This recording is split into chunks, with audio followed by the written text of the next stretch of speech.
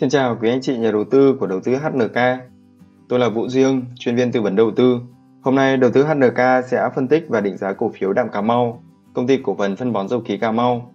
Đạm Cà Mau hoạt động kinh doanh chính trong lĩnh vực phân bón với các sản phẩm chính như phân ure, phân NPK. Đến với thông tin cơ bản của doanh nghiệp, thì Đạm Cà Mau có cơ cấu cổ đông khá là cô đặc.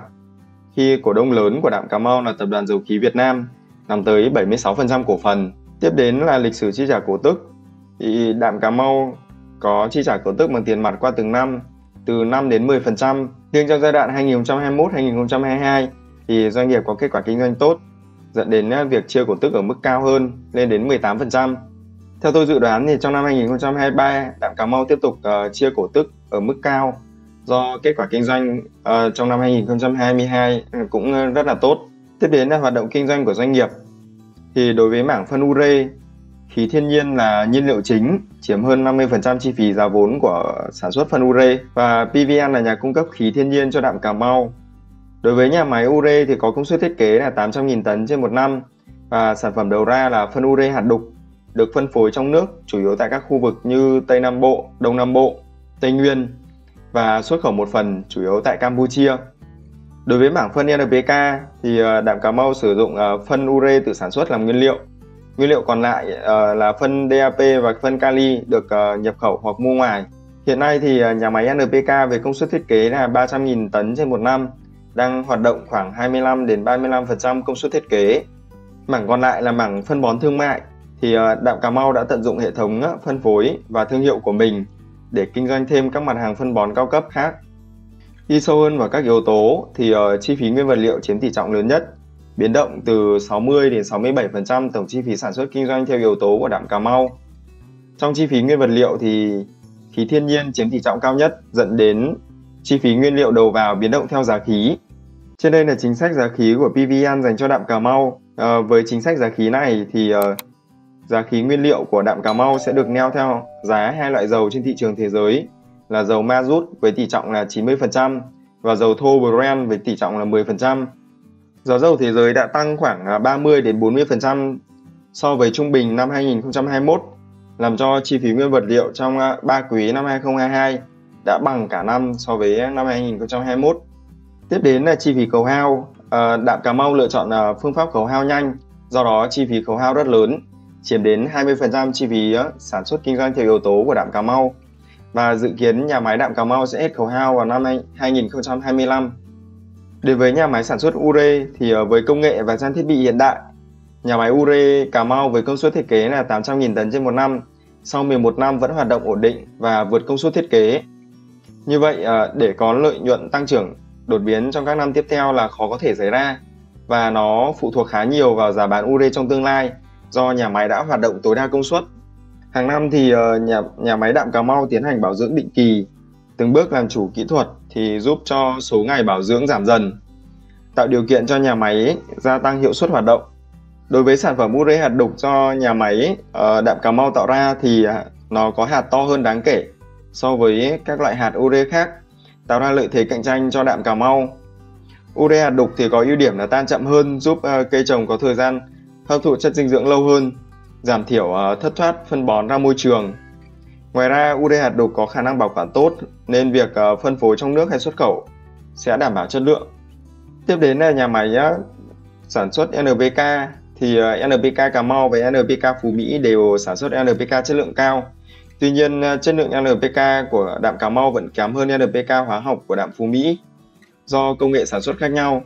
Tuy nhiên, với suất đầu tư thấp hơn nhiều so với NPK Phú Mỹ thì nhà máy NPK Cà Mau kỳ vọng mang lại à, hiệu quả đầu tư cao hơn với ờ, thời gian hoàn vốn ngắn hơn. Về yếu tố đầu ra thì ờ, đạm Cà Mau duy trì ổn định thị phần tiêu thụ ờ, phân ure trong nước khoảng từ 28 đến 33%. Đối với thị phần phân ure theo khu vực thì Tây Nam Bộ là thị trường tiêu thụ nội địa lớn nhất của đạm Cà Mau.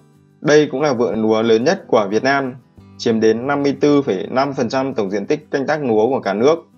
Tiếp đến là xuất khẩu phân ure đang tăng trưởng nhanh trong những năm trở lại đây từ 13% năm 2018 lên 26% trong năm 2021.